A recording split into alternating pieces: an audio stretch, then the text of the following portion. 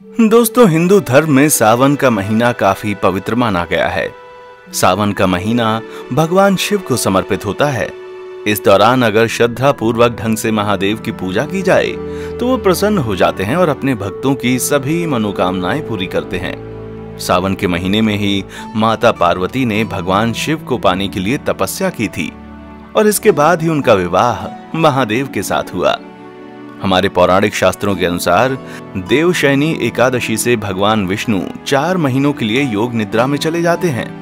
इन चार महीनों के दौरान भगवान शिव जगत का संचालन करते हैं। सावन का महीना भी इसी दौरान पड़ता है। इस बार सावन माह की शुरुआत 25 जुलाई 2021 से हो चुकी है। इस दौरान कुछ कार्यों को गलती से भी नहीं करना चाहिए। ऐसा करने से भगवान शिव नाराज़ हो जाते हैं। तो आइए जानते हैं कि ऐसे कौन कौन से कार्य हैं, जिनको सावन के महीने में भूल कर भी नहीं करना चाहिए। सावन महीने में सोमवार के दिन जल्दी उठकर स्नान करें। इसके बाद भगवान शिव का जलाभिषेक करें और साथ ही माता पार्वती और नंदी को भी दूध, गंगा जल या जल चढ़ाएँ। और चाहे कुछ भी हो जाए, शिवलिंग पर तुलसी का पत्ता बिल्कुल ना चढ़ाएँ, नहीं तो सब कुछ उल्टा हो जाएगा। पंचामृत से रुद्राभिषेक करें और बेलपत्र अर्पित करें। शिवलिंग पर धतूरा, भाँग, चावल, चंदन चढ़ाएँ और सभी को तिलक लगाएँ और प्रसाद के रूप में भगवान शंकर को घी शक्कर का भोग लगाएँ तथा गणेश जी की आरती करें और आखिरी में भगवान शिव की आरती करें और प्रसाद बांटें।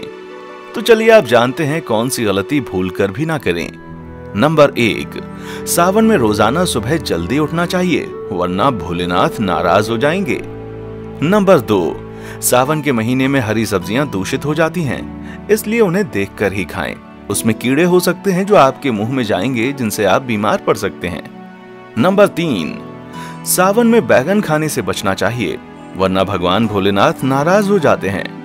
नंबर चार, भगवान शिव के इस पवित्र महीने में पति पत्नी को एक दूसरे से दूरी बनाकर रखना चाहिए। अगर आप संयम नहीं रखते हैं तो भगवान आपसे हमेशा हमेशा के लिए नाराज़ हो सकते हैं।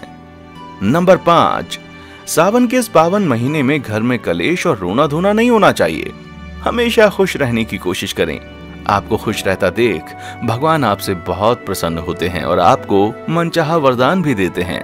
नंबर छह, दोस्तों सावन में भूलकर भी मांस का सेवन नहीं करना चाहिए और मदिरापान भी नहीं करना चाहिए तथा लहसुन प्याज का भी त्याग कर देना चाहिए। अगर आप इन चीज़ों का सेवन करते हैं तो आपको पाप लगेगा।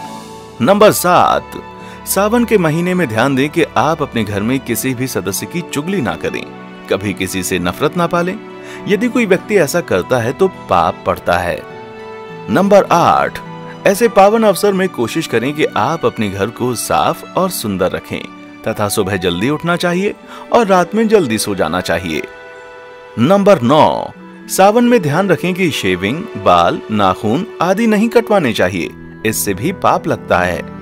नंबर दस, जो व्यक्ति सावन के पूरे महीने में मीठे बोल रखता है, उससे भगवान बहुत खुश होते हैं और अपनी कृपा बनाए रखते हैं। ऐसे व्यक्ति को कभी भी धन की कमी नहीं होती, क्योंकि उसके सिर पर हमेशा भगवान शिव का आशीर्वाद रहता है। नंबर ग्यारह, सावन में जितना हो सके उतना अपने हिसाब से गरीबों की सेवा करें। गरीबों में कपड़े आदि बांटें, उनको खाना खिलाएँ। ऐसे लोगों पर भगवान शिव अपना आशीर्वाद निछावर करते हैं। और उन्हें पल भर में धनी बना देते हैं।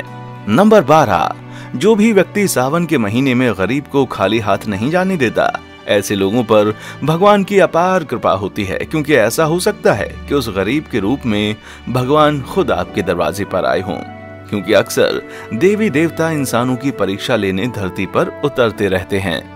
तो दोस्तों, अगर आप भी भगवान शिव को मानते हैं तो इन बातों का खास ध्यान रखें। इस पूरे पावन महीने भर ताकि आप पर भगवान शिव की अपार शक्ति बनी रहे। इसी के साथ, अगर आपने अब तक हमारे चैनल को लाइक, शेयर और सब्सक्राइब नहीं किया तो अभी कर दें। देखने के लिए शुक्रिया।